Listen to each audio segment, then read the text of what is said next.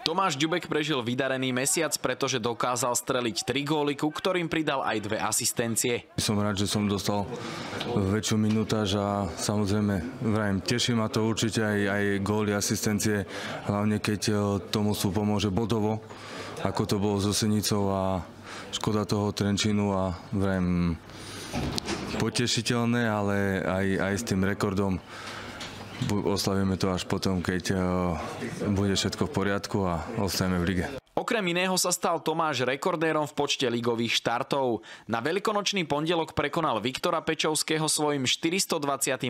zápasom symbolicky proti Michalovciam, kde ho prenasleduje ešte o 4 roky starší Igor Žovčák. Nie všetko, čo je staré, je zlé. Takže Igor to dokazuje. Myslím si, že ja ešte tiež e, tomuto ústu mám čo dať a vidíte to aj inde vo svete, či už hokej alebo vo futbale, že aj starší hráči ešte stále hrajú a, a sú platnými hráčmi, takže ja v tom nevidím problém a OK, tí mladí sa derú a tak ďalej, ale mm, som rád, že aj Igor to dokazuje a ja verím, že ešte potiahne. Pokročilejšom futbalovom veku myslí rekordér na regeneráciu s úsmevom. To telo už vie, čo chce a, a keď má chud na pivo, dá si pivo.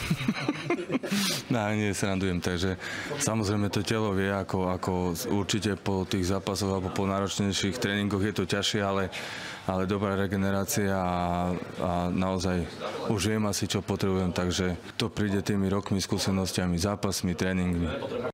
My sa môžeme len pozrieť, ako vyzeralo nakoniec poradie v hlasovaní o vojo hráča mesiaca. A obrovská gratulácia Tomášovi Ďubekovi, na druhom mieste Ibrahim Rabiu a tretí Branka Ružomberka, Ivan Krajčírik, v peťke boli ešte aj Azango, s Michalovským Matúšom Marcinom.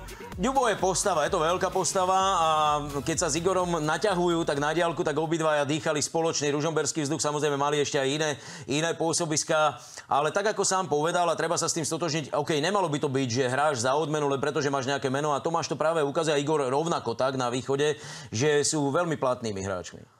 Toto je odzrkadlenie toho, čo, čo povedal, že tie čísla nepustia. Dal 3 góly, dal dve asistencie za celý mesiac a právom je teda uh, hráč mesiaca. Samozrejme, tá minutáž asi celkom nebol spokojný pred tým, uh, koľko šanci dostával, ale je to tak, uh, už keď je starší, proste musí do, do inej pozície v tom ústve sa dať a skôr tú kabinu držať a keď naskočí a keď dostane šancu, tak Ďubo má výbornú te- kopaciu techniku napríklad, alebo keď treba penaltu premeniť, tak, tak to zoberie na seba tú zodpovednosť. Takže toto je jeho pozícia, takisto je Igorova uh, Žovčaková v Michalovciach a ja som len rád, že aj takíto starší hráči sú v našej lige a, a že nie je všetko iba o mladých, ktorí, ktorí prídu z dorastu a hneď uh, to dostanú tú ligu ako na tanieri, ale títo chlapci si ešte pamätajú, ako tvrdo si museli oni vybojovať uh, to miesto.